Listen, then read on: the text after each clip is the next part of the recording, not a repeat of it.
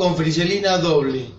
Vamos a simular un estornudo, presión de un desodorante que es menos que un estornudo. Pasa para este lado. Otro tipo de barbijo que están utilizando como friselina, tela que no debe ser usada para barbijo. Pasa. Friselina de bolsa. Pasa. Friselina común, tela simple.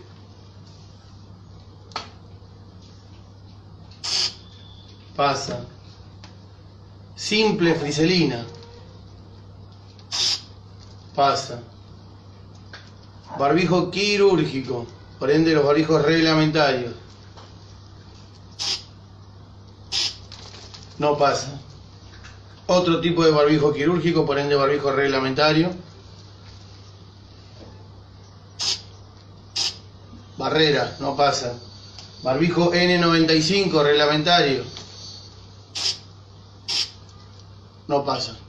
Por ende, si estornuda una persona que usa un barbijo y es un COVID positivo, no saldría. Y si yo me lo pongo usando un barbijo cualquiera de tela de friselina o común, no impido aspirar lo que la otra persona estornudaría o hablaría o, salpicaría microgotículas. Por ende, no usen barbijos hechos de telas caseras.